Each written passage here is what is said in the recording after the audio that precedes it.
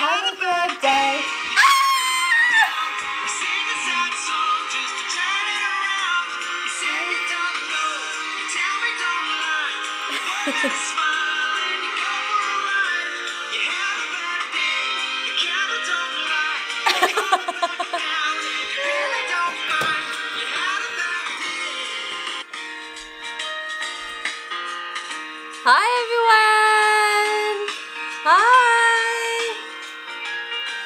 Now, welcome guys. I'm gonna turn this one down. This is from Daniel Powter, Bad Day. So I want to send a big, big, big thank you to my good friend Van. Mwah! Sending you lots of love from Sydney. And thank you for sharing this music to me because I know you've had a rough week. I know a lot of us have a rough week. And what I want to talk about bad days, bad weeks, bad months, bad years. So this is an important vlog to tune in. So this is a video just give you some tips and advice on how to turn a bad day into a good day. These are my advices. This is what I would do if things are, aren't turning the way I want it to go. And you can apply this at any time and if you've got the place, if you've got the money, and um, and also if you've surround yourself with really good things. But anyway, let's get started. So the first thing is when you're having a bad situation that had occurred during work or during uh, a situation when you're having a conversation with somebody, it's not coming going the way you want to. Just remove yourself from that situation and then just take a breather just walk away and go, look, I just need a breather for a second. Um, guys, just hear me out and I'll come back and give me 10, 15 minutes. Just give you, allow yourself some time so the other person knows that you just need a breather. Um, it, it is a good idea to just not jump into the conversation when it's when you're getting fired up and just it's going this way instead of like you know, calm and peaceful. So I suggest just walking away from that situation. Two, go exercise. I burn everything off. I go to the gym or I'm doing mixed martial arts and I just throw myself and immerse myself into an exercise routine to forget about the situation.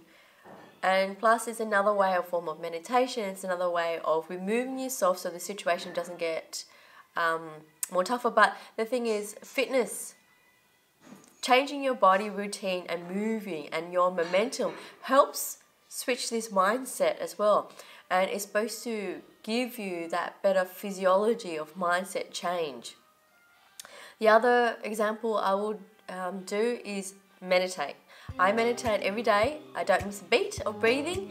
I love it. I enjoy it. It has helped me reduce anxiety, depression, and gives you more clarity as well, and has helped uh, change your whole body motion momentum because it is just this motion of you being who you are and just stilling the mind and allowing peace come through and allow your body to settle. So that's one idea. I've got another idea as well and I've written it here. Um, I go to call my friends, I message my friends and go, look, you know what, I'm having a bad day. How are you guys going? Um, some like sometimes I tell them what's going on. My friends just want to hear me out, and they would give an advice. My girlfriends have always got my back, and I always got their back. And it's great to hear another opinion because sometimes when we're all fired up, it, it can mean that there's something inside us that hasn't been let go as well. And we have to look within and educate and learn ourselves, teach ourselves what's going on.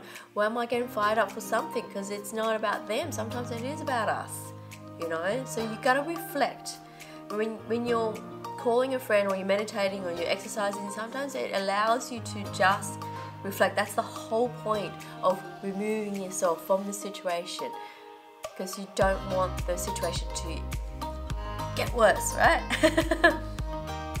Take a long bath is another soothing way. Uh, watch something that makes you laugh. So, what TV show do you watch? What movies have you watched in the past that just makes you laugh? And I love watching things that makes me fall to the ground and laughing in tears. You know, that is the best feeling ever.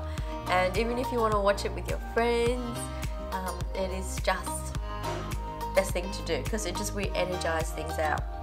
Um, write it out. So if you're a journal sort of person, a diary sort of person, um, writing out how you feel is a really good way and it's a therapy way that I found.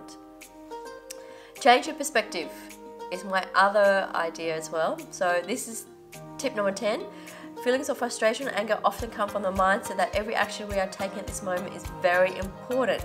Take a minute to think about what you're very grateful for. So do a grateful moment session. Doing a grateful moment session helps increase frequency.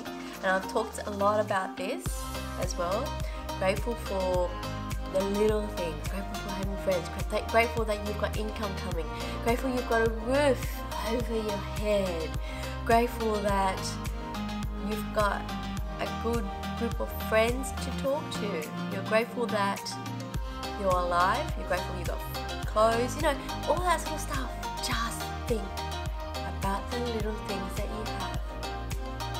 When you've done at least 10 grateful things, your frequency and body physiology should change. Change that makes you feel good inside. You know, um, there have research been shown that gratefulness has the highest frequency after happy and joy. Okay, so I hope you take at least one out of these 10 tips to change your bad day to a good day, change your bad week into a good week. Because everything that comes to us is a lesson. Anyway, guys, hope you had a wonderful session with me this morning, this afternoon, this evening. and tune in next week, guys. And also, please, please, please continue to watch my Empower Your Spirit because that journey of mine is a journey that I went on and it's helping you for the next 100 days to get you out of the situation that you are in. And I'm sharing them from the from the bottom of my heart, full of golden heart to you guys. So be sure you are at one with fear, because when you do, everything